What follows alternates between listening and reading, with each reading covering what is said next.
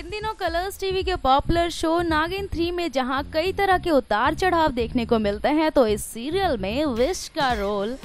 काफ़ी ज़्यादा एंग्री बताया जाता है। बता दें कि विश के रोल में नज़र आती हैं अनीता असनंदानी जो कि रियल लाइफ में काफ़ी मस्तीखोर हैं। और हाल ही में माहिर के रोल में नज़र आने वाले एक्टर पलवी पुरी ने अपने इंस्टा स्टोरी पर एक फ़ोटो शेयर की है और साथ ही इस फ़ोटो पर लिखा है, दबंग on set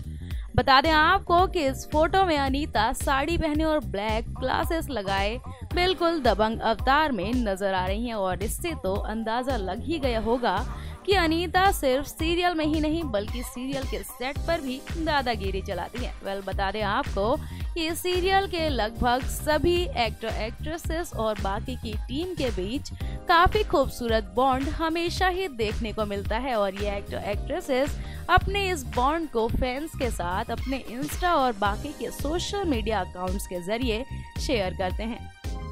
next time live से चांदनी की रिपोर्ट